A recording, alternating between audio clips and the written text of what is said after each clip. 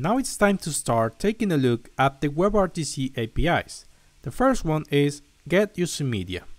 What we want to achieve right now is that after the user enters a room name and click go, the application can get access to the media devices and show such streams in the web page.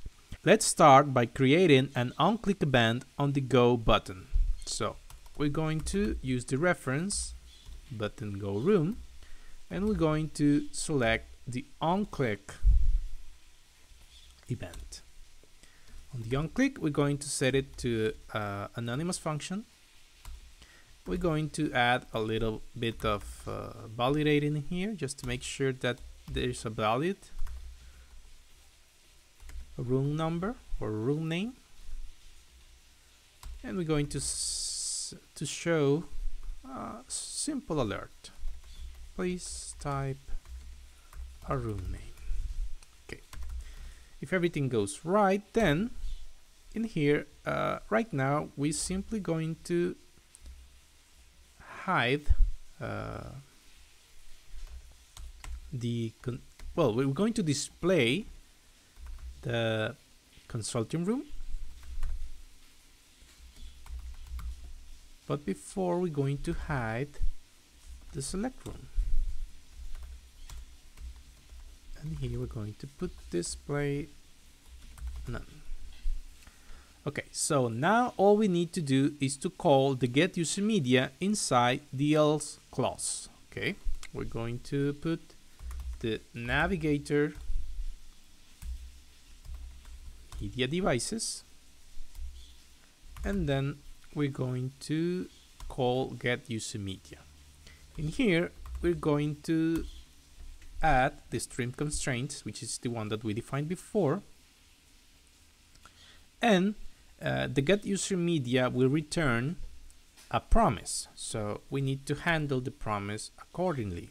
To do so, we're going to add the then, and in here we're going to also use an anonymous function that will receive a parameter. This parameter is going to be the stream. We're going to set the local stream to the parameter that, that we're, we are receiving.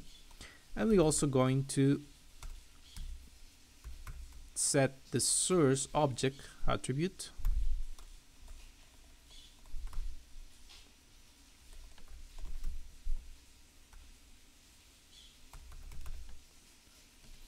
to the stream. Okay. Um, we also need to handle the catch in case anything goes wrong. We're also going to use an anonymous function and we simply are going to show a message that an error occurred. Okay. And now let's run the app. We're going to move to a terminal and run the application. We're going to move to the browser. I'm going to refresh and I'm going to put the name WebRTC training. You see that we see the prompt to grant access, we're going to allow.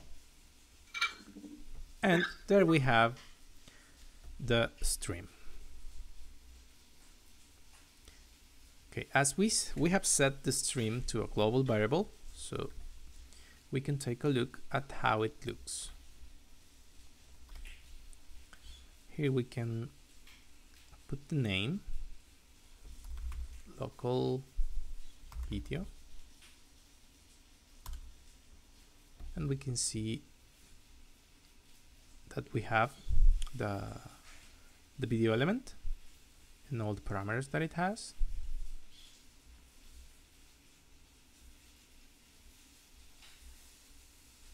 Looking for the src here it is we have a media stream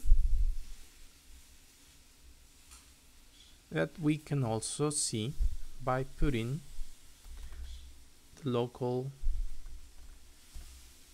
stream variable. You can see it's the same.